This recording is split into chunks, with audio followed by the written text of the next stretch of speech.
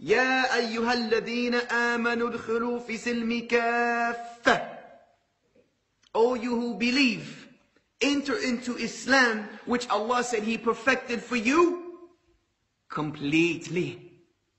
كافة. Completely, without leaving any of it out.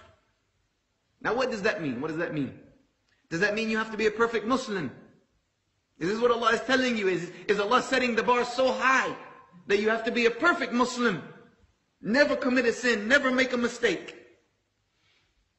The question is not rhetorical, I'm asking you. Is this what Allah is asking for you? No, of course not. Even the companions radiallahu anhum وَرَضَاهُمْ whom Allah says about them, كُنْتُمْ خَيْرًا أُمَّةٍ أُخْرِجَ لِلنَّاسِ They were the best of us. They weren't perfect. Because the Prophet ﷺ said, كُلُّ بَنِي آدَمْ خَطَّاء Every son of Adam sins. But the best of those who sin are those who repent. So Allah's not telling you to be perfect. He's telling you to enter into Islam completely. Meaning acceptance. Meaning acceptance. That whatever Allah has revealed, you accept it. You take it. As Allah says, those who believe or when Allah and His Messenger have decided a matter, they have no option in the decision.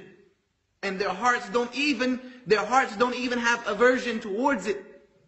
Maybe you don't understand it. I've been a Muslim 18 years and there's things I don't understand why they are the way they are. But you know what? It is how it is. And that's the way Allah wanted it.